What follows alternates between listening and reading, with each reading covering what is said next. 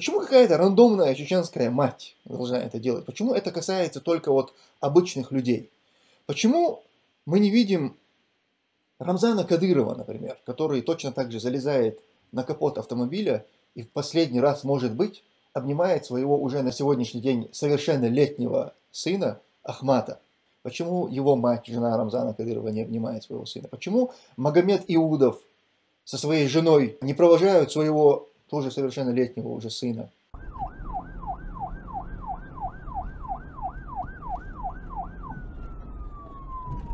В Чечне были отправлены, была отправлена очередная партия военнослужащих э, на фронт в Украину. И на этот раз появились видео а, съемки, как матери провожают своих детей. На эту тему очень хорошо высказался Хасан Халитов. Вчера был опубликован ролик, я его также перепостил у себя в телеграм-канале, можете посмотреть. Но я тоже хочу сегодня прокомментировать э, эту ситуацию. И а, для начала давайте посмотрим сначала эти кадры. Э, по сути, душераздирающие такие кадры, как матери провожают своих детей на войну, возможно, последний путь.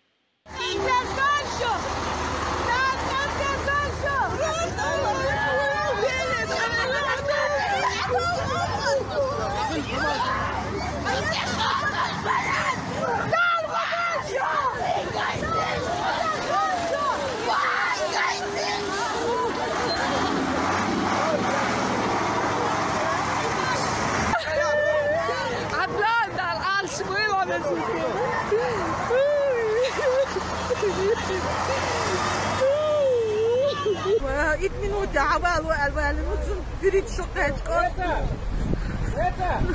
Yes! Evi lo ala kapot ala ala. Bekar ya. Mayer, mayer. Mayer. Oh, yo.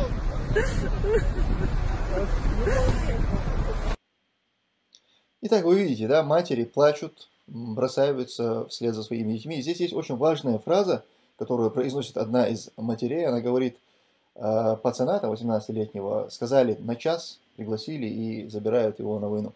То есть многие из тех, кто отправляется в этих грузовиках в Украину, эти люди даже не знали, что их будут отправлять на войну. То есть их обманным путем пригласили, сказали типа там поговорить, отметиться для чего-то, там, в общем, под разными предлогами а, людей собрали, это теперь уже очевидно, а, сразу же снарядили, а, посадили в грузовики и отправляют воевать.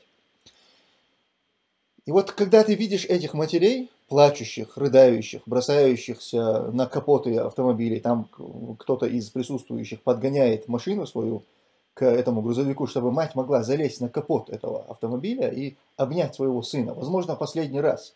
Понимаете, насколько это, э, это момент такой очень серьезный. Мать понимает, что, возможно, она видит своего сына в последний раз. Возможно, она его обнимет сейчас в последний раз. И она делает какие-то несвойственные для, э, ну, для обычной ситуации вещи. В обычной ситуации не будет женщина залезать на капот автомобиля, там, пытаться что-то обнять своего сына. Но здесь ситуация такая, что она, понимая, что это возможно, она в последний раз своего сына обнимет, она залезает на этот капот и обнимает своего сына. И вот здесь справедливо у многих людей возникает вопрос, почему, почему какая-то рандомная чеченская мать должна это делать? Почему это касается только вот обычных людей? Почему мы не видим Рамзана Кадырова, например, который точно так же залезает на капот автомобиля и в последний раз, может быть, обнимает своего уже на сегодняшний день совершеннолетнего сына Ахмата. Почему его мать, жена Рамзана Кадырова, не обнимает своего сына? Почему Магомед Иудов со своей женой не провожают своего тоже совершеннолетнего уже сына? Почему другие из окружения Кадырова, всевозможные министры, а, главы как всяких ведомств, просто там какие-то а, его друзья приближенные, муфтий республики, всякие помощники, заместители, подносчики, люди, которые вытирают его обувь, люди, которые открывают дверь, ногу его засовывают в машину или высовывают эту ногу, а, охраняют его голову, там, чтобы она не ударилась крышу автомобиля. Почему вот эти вот все люди, почему мы их не видим там? Почему мы их детей не видим? Почему мы не видим вот этих душераздирающих а, видео с участием этих людей. Мы бы хотели, мы бы хотели смотреть на вас и, и, и переживать за вас. Смотреть, как Рамзан Кадыров провожает своего сына э, Ахмада, как он его обнимает, за, за, залезая на капот своего там, GLE, например, или S-класса Мерседеса, на Rolls-Royce какой-нибудь. Понимаете, как стоит на этом а, капоте, как он стоит, как его супруга, как другие его дети стоят и плачут, обнимают своего, своего ребенка. И мы бы за вас переживали. Я бы искренне вместе с тобой, Кадыров, плакал бы, глаза бы мои наливались бы слезами. Понимаешь, мне было бы очень обидно за тебя. Я понимал бы, насколько это драматический момент для тебя. Но почему-то нет, мы этого не видим. Но мы видим рандомную какую-то бедную женщину чеченскую, бедных женщин, она там не одна. Мы видим, как они провожают своих детей, возможно, последний путь. Как бы это прискорбно и печально не звучало, возможно, действительно часть этих детей обратно не вернутся. И я бы не, вообще, наверное, даже не стал бы эту тему комментировать и абсолютно не переживал бы, и не переживаю за тех, кто добровольно туда отправляется, за тех, кто служит в различных там полках, э, бригадах, батальонах там и прочих, ментурах кадыровских. Я наоборот не против, хотел бы, чтобы вас туда отправляли, и вы, вы для этого и шли служить России.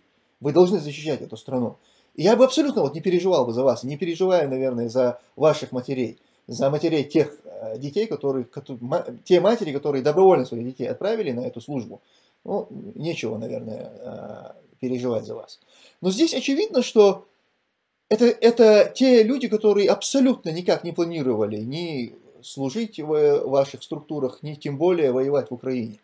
И вот эти матери, по их словам, потому что они говорят, тоже понятно, что они застаны врасплох.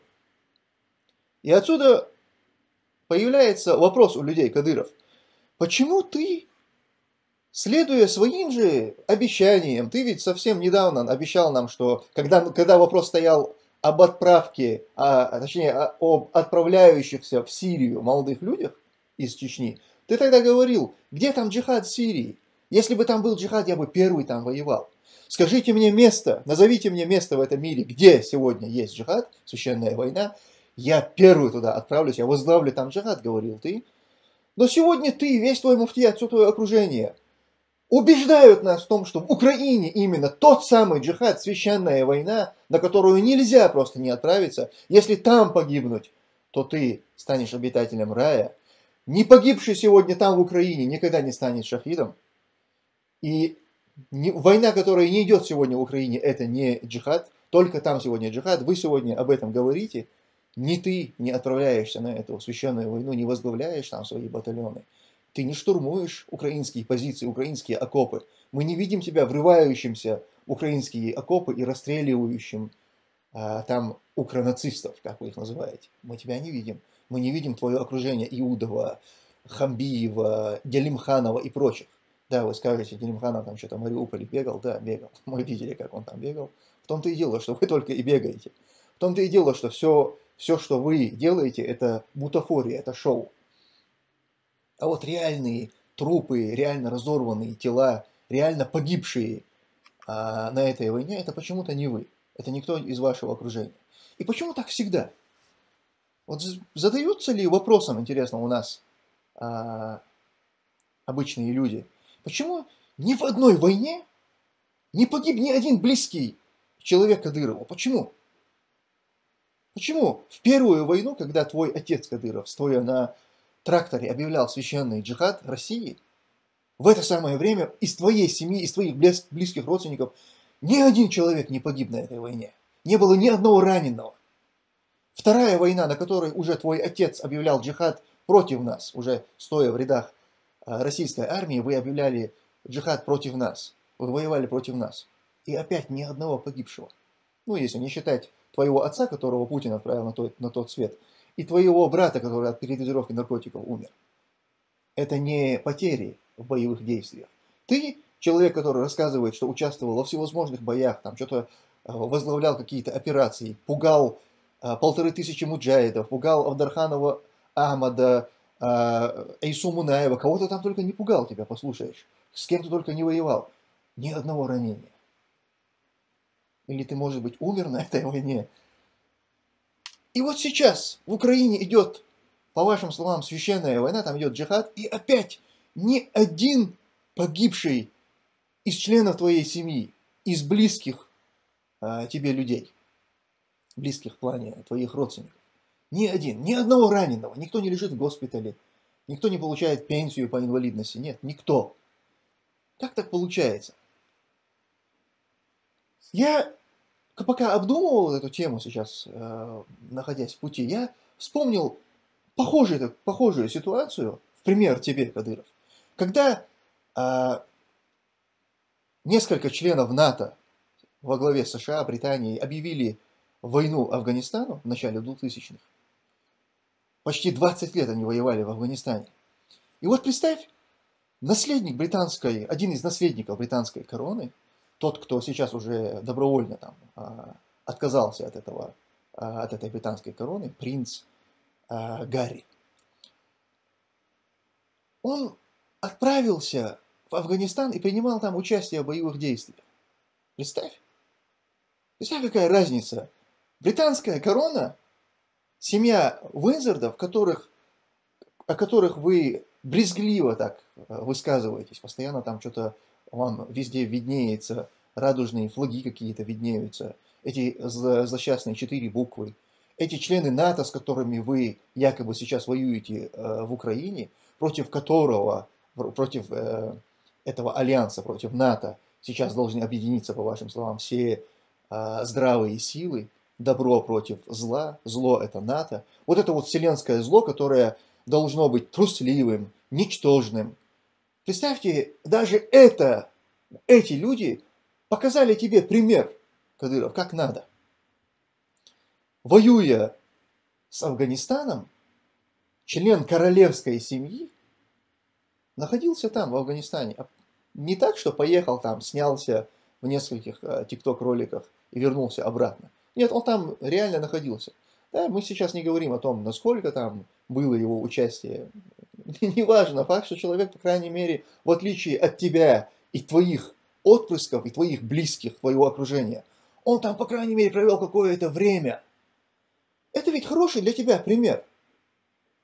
Что те э, воевали с мусульманами, что вы воюете с мусульманами. По сути, вы, вы-то являетесь братьями, хоть вы э, объявляете о том, что вы там враги, что ты э, сражаешься против НАТО. Они тоже сражались там в Афганистане против мусульман. Ты тоже всю свою жизнь посвятил сражению с мусульманами, уничтожению мусульман.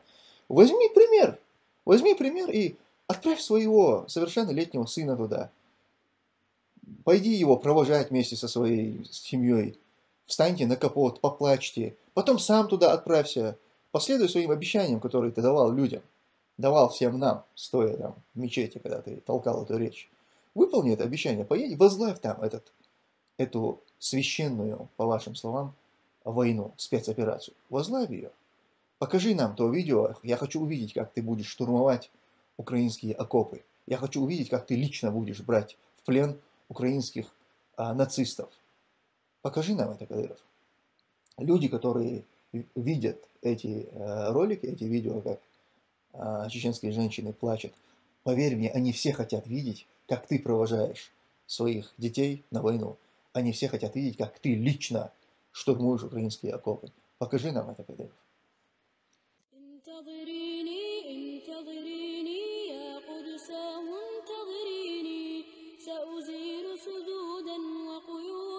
سأمحو رجس الصيون انتظريني انتظريني يا عسى سأزيل سدودا.